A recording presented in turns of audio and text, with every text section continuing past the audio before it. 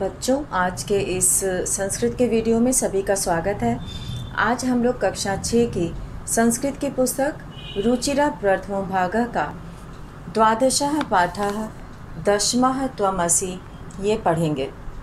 इस पाठ में हम लोगों ने पढ़ा था कि किस तरह से दस बच्चे नदी पार करके जाते हैं, और जब उस पार उतरते हैं पहुँचते हैं तो उनका जो नायक था, वो एक दूसरे बच्चे को बोलता है, लड़के को, कि तुम गिनो के सारे नदी पार कर लिए और जब वो गिनता है तो नौ ही रहते हैं और वो दुखी होकर बैठ जाते हैं।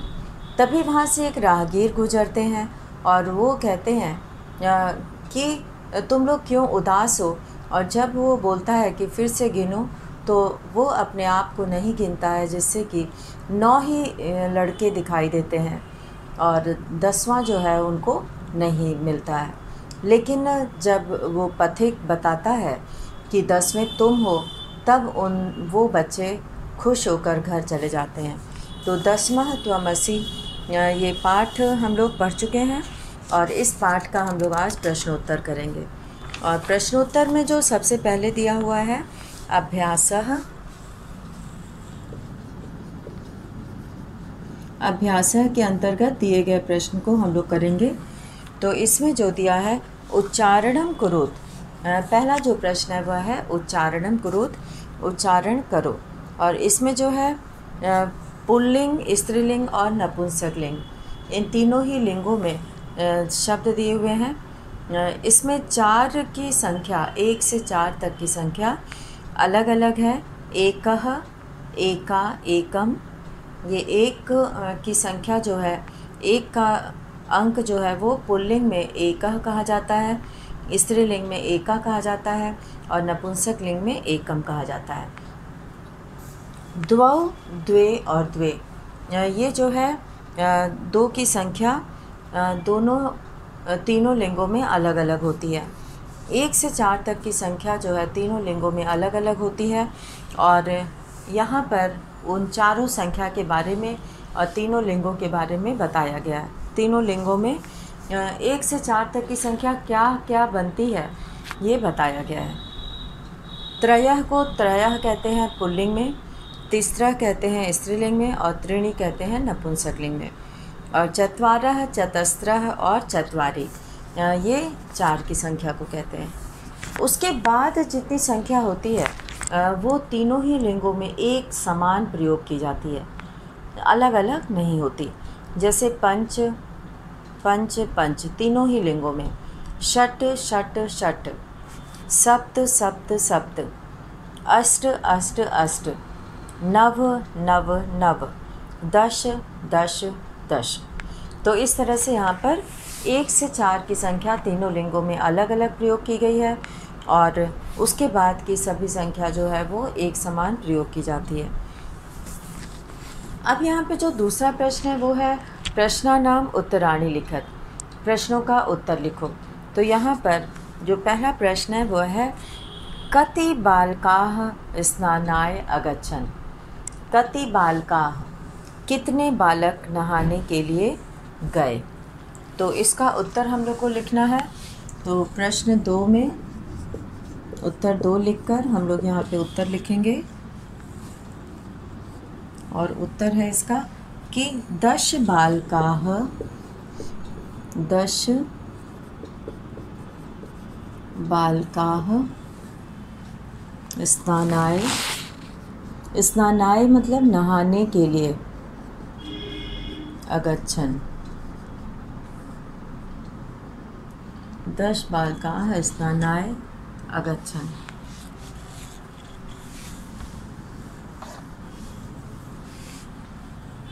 दश, बालकाः, स्नानाय, अगच्छन। दस की संख्या जो है, ये बहुवचन है, इसलिए यहाँ अगच्छन का प्रयोग किया गया है, बहुवचन का प्रयोग किया गया है। अब हम लोग यहाँ पर देखेंगे दूसरा प्रश्न, और दूसरे प्रश्न में यहाँ पूछा गया है कि ते स्नानाय कुत्र अगच्छन। ते मतलब वे। पुल्लिंग है, इसलिए वे सब के लिए ते का प्रयोग करेंगे। ते स्नानाय कुत्र अगच्छन। वे स्नानाय मतलब नहाने के लिए। कुत्र मतलब कहाँ अगच्छन मतलब गए। वे नहाने के लिए कहाँ गए। तो ते स्नानाय नदीम अगच्छन। ते स्नानाय नदीम अगच्छन। और तीसरा प्रश्न है, ते कम निश्चयम अकुर्वन? वे क्या निश्चय किए? उन्होंने किस बात को माना? तो ते निश्चय अकुर्वन, उन्होंने ये निश्चय कर लिया, ये मान लिया कि यत की, यत का मतलब है कि दशमा नद्याम मग्न। दसवां नदी में डूब गया है। ते निश्चयम अकुर्वन। ते निश्चयम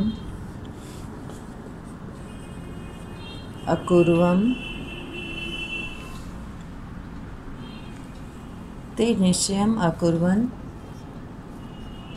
यत् दशमः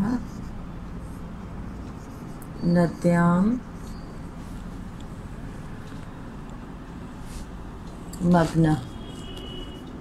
नदी में डूब गया है। और अब यहाँ पे घ है। चौथा प्रश्न यहाँ पे हम लोग करेंगे। मार्गे कह आगछत। रास्ते में कौन आया?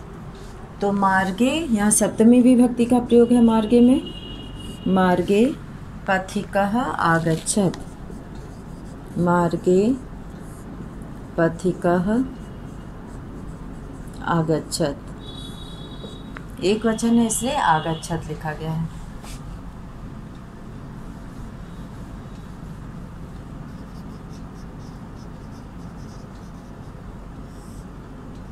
मार्गे पथिकः आगच्छत। और अब यहाँ पर हम लोग करेंगे अंग वाला क्वेश्चन पथिका किम अवदत? राहगीर क्या बोला? पथिका अवदत्त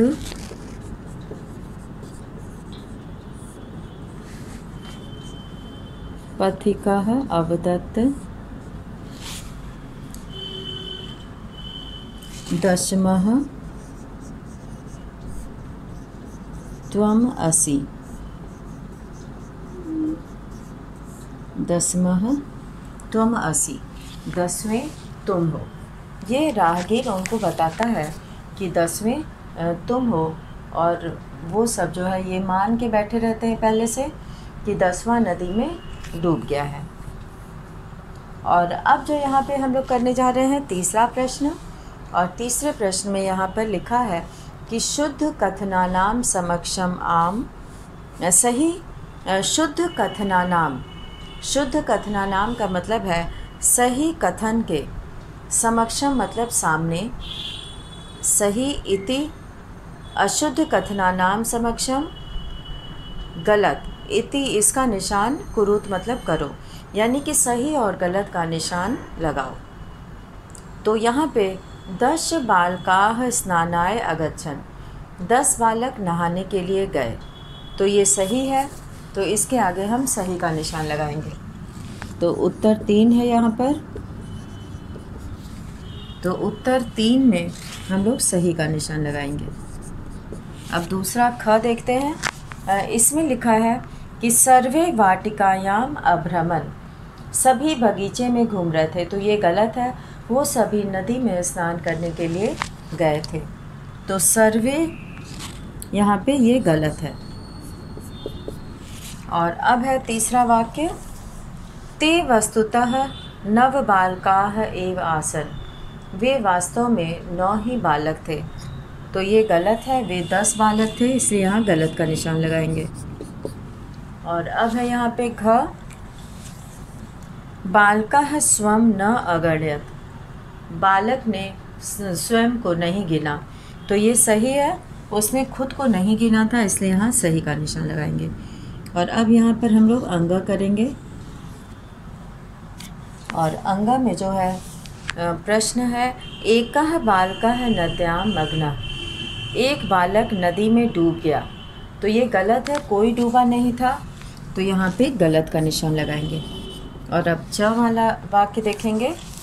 च वाले वाक्य में यहाँ पे लिखा है कि ते सुखिता तुष्णीम अतिष्ठन। वे सुखी होकर तुष्णीम अतिष्ठन? वे सुखी होकर चुपचाप बैठ गए। तो ये गलत है, वे दुखी होकर चुपचाप बैठ गए थे। तो यहाँ पे गलत का निशान लगाएँगे। और अब छ वाली लाइन है। छ वाली पंक्ति में देखते हैं। को अपी पथिका न आगछत कोई भी राहगीर नहीं आया था। तो ये बिल्कुल गलत है।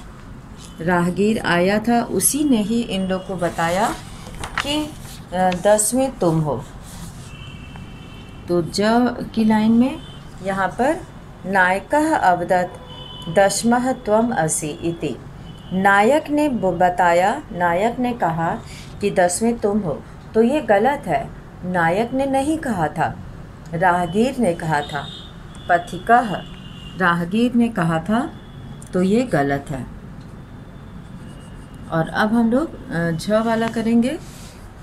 ला, अंतिम है ये वाक्य। और इसमें लिखा है कि, ते सर्वे प्रहृष्टा भूतवा गृह अगछन ते सर्वे, वे सभी प्रहृष्टा भूतवा प्रसन्न होकर गृह अगछन घर चले गए। तो ये बिल्कुल सही है। वे खुश होकर घर चले जाते हैं। जब उनको अपना जिसको वो समझ लिए थे कि नदी में डूबा है तो ये समस्या उनकी दूर हो जाती है और वे सारे जितने गए थे नदी पार करके, वे सब खुश हो जाते हैं और वे सभी सही सलामत रहते हैं। अब है यहाँ पे चौथा प्रश्न। मंजुषातः शब्दान चेतवा रिक्त स्थानानि पूर्यत। मंजुषा से रिक्त स्थान चुनकर खाली जगह भरें। तो यहाँ पर मंजुषा में जो है दिया है गणित्वा। गणित्वा का अर्थ होता है गिनकर। श्रुत्वा श्रुत्वा का अर्थ होता है सुनकर। दृष्टवा दृष्टवा का अर्थ होता है देखकर। कृत्वा कृत्वा का अर्थ होता है करके। गृहित्वा गृहित्वा का अर्थ है ग्रहण करना, पकड़ना। लेकर, गृहित्वा का अर्थ है लेकर। और तीर्थवा तीर्थवा मतलब यहाँ पर तैर कर। तो इन्हीं का यहाँ पे प्रयोग करना है और इसमें हम लोग देखते हैं कि ते बाल का जो पहला दिया हुआ है, उसमें दिया है ते बाल का नद्याह उतीर्णा नदी पार कर लिए। ते बाल का वे बालक नद्याह उत्तीर्णा नदी पार कर लिए। तो कैसे नदी पार करेंगे? तैर कर। तो यहाँ पर तीर्थवा शब्द आया है, तैर कर अर्थ में। तो हम लोग यहाँ पर इस प्रश्न के उत्तर में तीर्थवा भरेंगे क में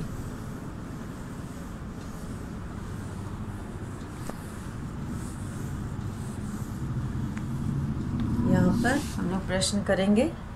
चौथा प्रश्न प्रश्न चार, और चार के क में ते बालकाह तीर्थवा यहाँ पर पूरा वाक्य लिखेंगे हम लोग। ते बालका ऐसे प्रश्नों को करने का सबसे सही तरीका यही है कि वाक्य लिखकर उसको पूरा किया जाए। क्योंकि प्रश्न दिया रहता है कि सही सही शब्दों से खाली जगह भरे। ते बालका तीर्थवा नद्या उत्तीर्णा।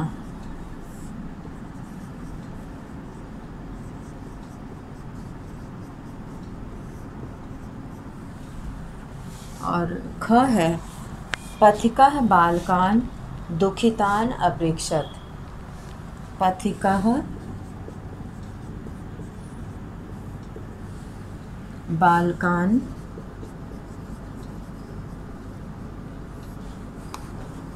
दुखितान।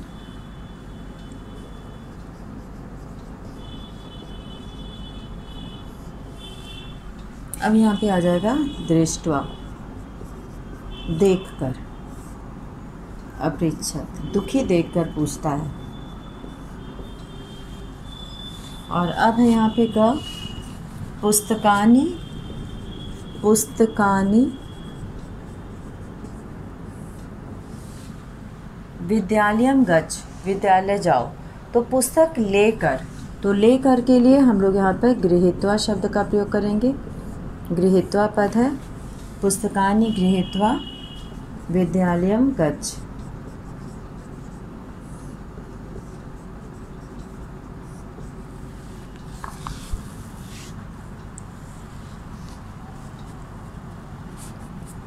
घ है पथिकस्य वचनम। पथिकस्य वचनम। सर्वे प्रमोदिताः, यहाँ पे वचनम श्रुत्वा सुनकर, वचन को सुना जाता है। श्रुत्वा, खाली जगह में भरेंगे। श्रुत्वा। सर्वे यानी सभी प्रमुदिताः गृहम् अगच्छन्।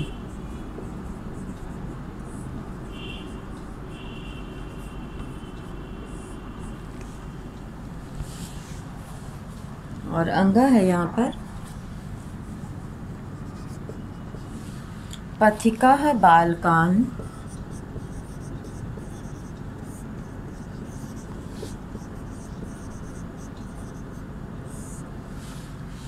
अकथयत गणित्वा गिनकर गणित्वा गिनकर अकथयत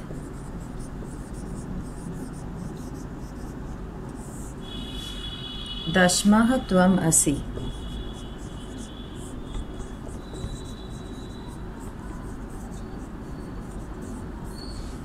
दशमः त्वम् असि। और च है यहाँ पर, मोहन कार्यम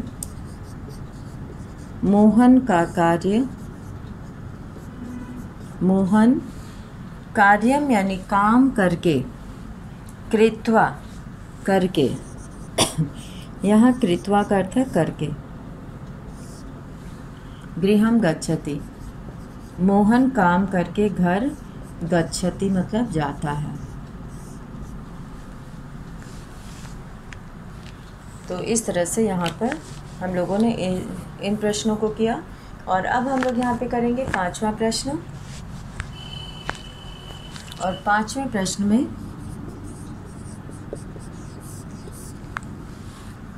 पहले चित्र में, चित्र एक यहाँ पर, चित्र एक में भरना है अष्ट। खाली जगह में अष्ट भरेंगे और चित्र दो। चित्र दो में हम लोग भरेंगे त्रया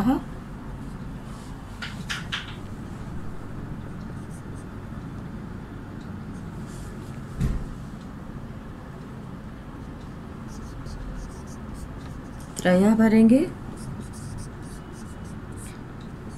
चित्र तीन में हम लोग भरेंगे एकम। और चित्र चार में भरेंगे। द्वौ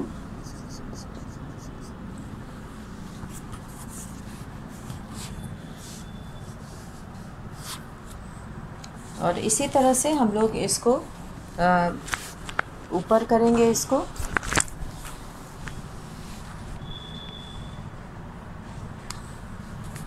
यहाँ पे लिखेंगे इसके आगे का।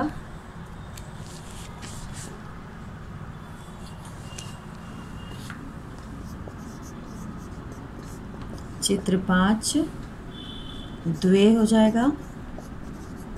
चित्र छ चित्र सात, पंच। और चित्र आठ, दस। तो ये हो गया चित्रों के नीचे जो संख्या लिखनी है। एक से चार की संख्या अलग अलग होगी और उसके बाद की सारी संख्या एक एक समान होगी। तो आज हम लोगों ने इस पाठ के सभी प्रश्नों को किया और ये अंतिम प्रश्न था, ये पांचवा ये पांचवा प्रश्न। अंतिम प्रश्न था। तो सभी लोग इसे अपने संस्कृत की कॉपी में पूरा कर लेंगे। और इसी के साथ आज का वीडियो यहीं समाप्त करते हैं। और अगले वीडियो में हम लोग अगला पाठ पढ़ेंगे। धन्यवाद।